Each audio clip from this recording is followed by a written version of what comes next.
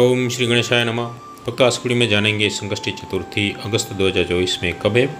और अगर आपने संकष्टी चतुर्थी का व्रत किया है तो आपके शहर में चाँद कब निकलेगा? यानी कि चंद्र दर्शन करने के बाद अपना व्रत को खोल सके। तो पूरी डिटेल में जानते हैं तो चलिए वीडियो शुरू करते हैं। सबसे पहले बात करते हैं संकष्टी चतुर्थी तो इस बार संकष्टी चतुर्थी 22 अगस्त 2024 वार गुरुवार है, जिसका नाम है हेरम्बा। संकष्टी चतुर्थी है। बात करते हैं चंद्रोदय की न्यू दिल्ली की तो आठ बजकर तैंतालीस मिनट रात चंद्र महोदय होंगे। तिथि की प्रारंभ बात करें तो 22 अगस्त 2024 को, दोपहर को एक बजकर छैंतालीस मिनट से प्रारंभ हो जाएगा, जो समाप्त होगा तेईस तारीख को सुबह दस बजकर अड़तीस मिनट तो चलिए दोस्तों, अब जानते हैं हमारे देश के प्रमुख शहर में अलग अलग जगह पर किस चंद्रोदय का टाइम क्या रहेगा।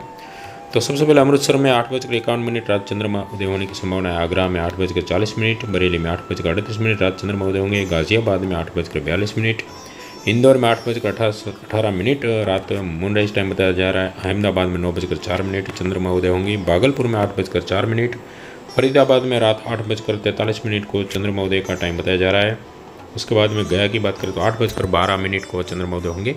उदयपुर में नौ बजकर, पूरे नौ बजे चंद्रमा उदय होने की संभावना है। कानपुर में आठ बजे के इकतीस मिनट को। कोलकाता में आठ बजे चंद्रमा उदय होने की संभावना। लखनऊ में आठ बजकर अट्ठाईस मिनट को।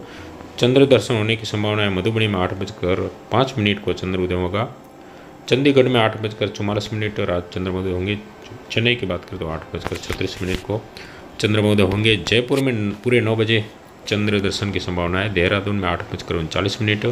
मुनराइज टाइम बताया जा रहा है। पुणे में पूरे नौ बजे चंद्रमोदय होने होंगे। पटियाला में आठ बजकर छियालीस मिनट को, पंचकुला में आठ बजकर चौवालीस मिनट को चंद्रमोदय होंगे। पटना में आठ बजकर बारह मिनट, मुंबई में नौ बजकर चार मिनट और वाराणसी में आठ बजकर बीस मिनट चंद्रमोदय होने की संभावना है। आखिर में शिमला की बात करें, आठ बजकर बयालीस मिनट, हरिद्वार में आठ बजकर चालीस मिनट मूनराइज टाइम बताया जा रहा है और सोनीपत में आठ बजकर चौवालीस मिनट चंद्रमोदय की संभावना है। तो दोस्तों, इस प्रकार से हमने देश के प्रमुख शहर यहाँ पर कवर किए हैं।